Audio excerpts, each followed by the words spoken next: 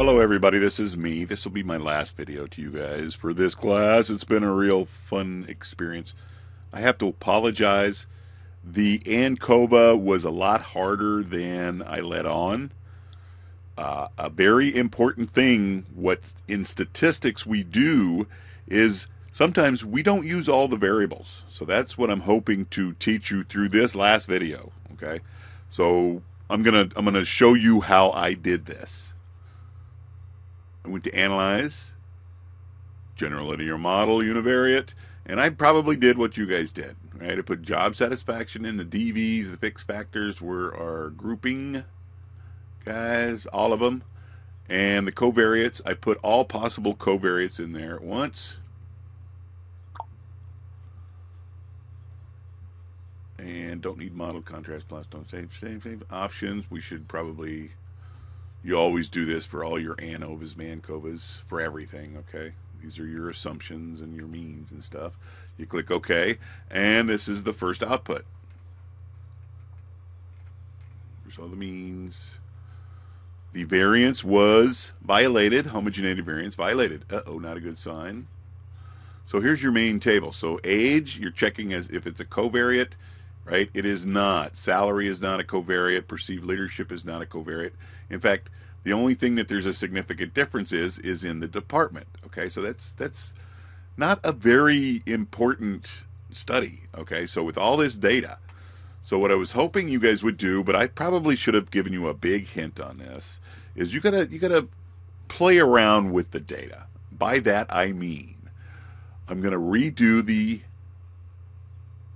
ANCOVA, and I'm going to just start playing around with the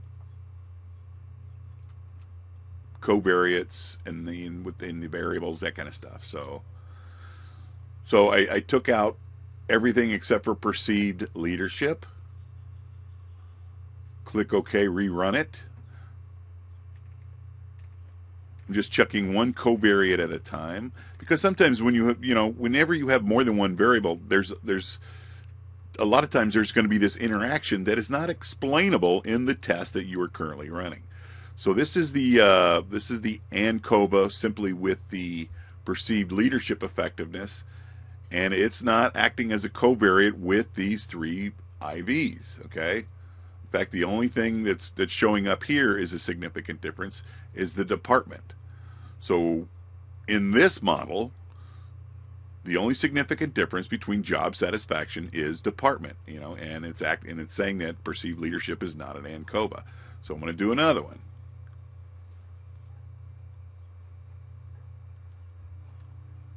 I'm going to put in all suspected covariates and then I'm going to take out some of the IVs. Okay, so I'm taking out gender. I'm just going to run department and ethnicity, see what happens. So every time you make a change, you're going to look at the between group effects, right? You're looking for anything that's significant with this change here. So um, again, I'm only seeing department. That's what we got last time. So I'm I'm I'm trying to figure something else out here. So age, according to this, is not a covariate. Sally is not a covariate. Salary is not a covariate. And perceived leadership is not a covariate. But that's with department and ethnicity. So I'm going to go ahead and change uh, department with ethnicity. I will take out department. No, I'll take out, uh, yeah, I'll take out department. Put in gender. Okay, so now just with ethnicity and gender, I put it in there. I'm looking for some big changes. Again, the homogeneity variance has been violated, but with just with just ethnicity and gender, I'm looking at age. Nope. Sorry, looking at the wrong one. Not seeing a lot of action here in the significance column. Okay, so age and Perceived leadership effectiveness, salary, nothing is affecting the outcome between ethnicity and gender. All right, one last time. I'm going to throw out ethnicity. I'm going to put back in department. I'm going to leave the three suspected covariates in there. I'm going to take a look at that, see what else happens. Oh, something did change. Our uh, homogeneity variance is no longer violated. Oh, look at that. And our perceived leadership effectiveness is a covariate. Age is not, salary is not, but there's a significant difference between the departments. So this is the this is the maximum amount of significant proof that there is a, a difference in there between job satisfaction between the departments, right, the staff management and executive level, and the perceived leadership effectiveness is acting as a covariate. So this is the best model to fit, but you had to you had to play around with the variables and the covariates. Okay, that's what unfortunately that's what real statisticians do. We just kind of play around with the data until we get an answer that we can explain. So back to the actual final exam sheet. So we know that ethnicity is not part of this. So I left it out of the study. So from there, I answered all the questions on the sheet here. Let's just go over them. so the IVs were gender two levels, department three levels, and ethnicity five levels, but it was not used in this study. Blank, blank, blank. DV was job satisfaction scores. The possible covariates were age, salary, perceived leadership effectiveness, because they were all continuous variables. Remember, a covariate cannot be a categorical variable. So using this data, um, I ran a Smirnov normality test, and there was a lot of violations here. Okay, salary, not normal. Job satisfaction, not normal.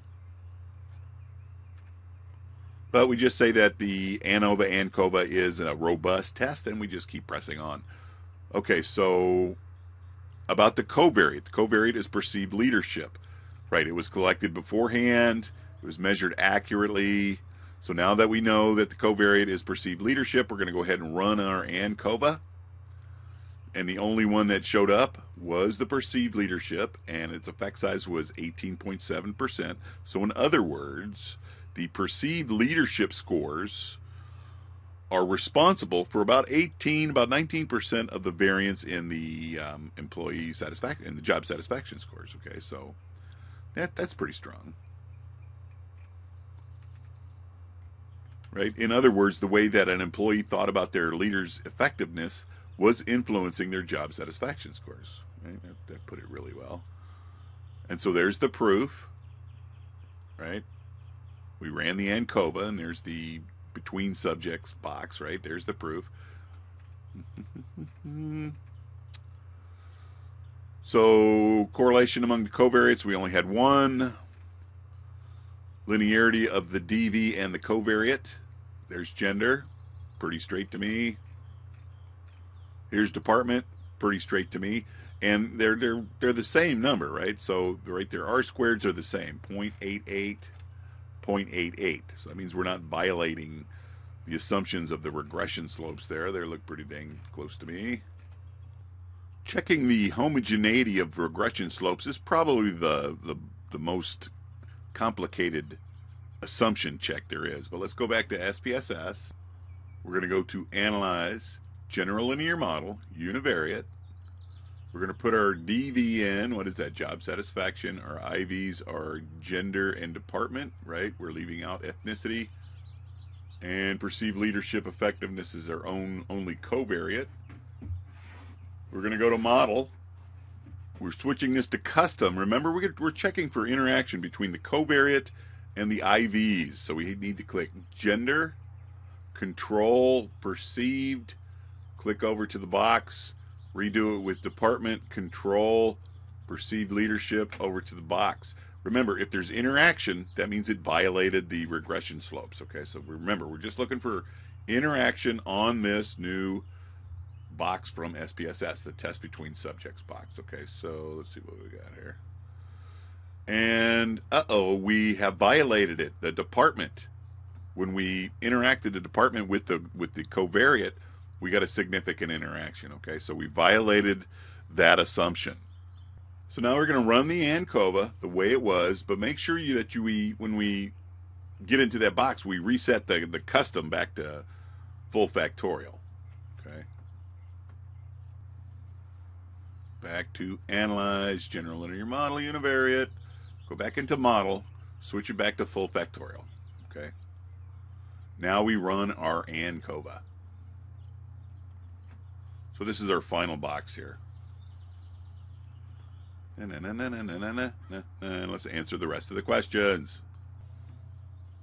So, with all of this mess cleaned up, we're going to use this final chunk of information, right? Gender and department are the IVs, perceived leadership effectiveness is the covariate, job satisfaction is the DV. So, with that in mind, we did not break the assumption of homogeneity of variance, right? Or Levene's test is fine. And in writing up the overall results, was there overall significant difference between the, the groups somewhere? And yes, there was an omnibus F. Okay. And this is how we write it up.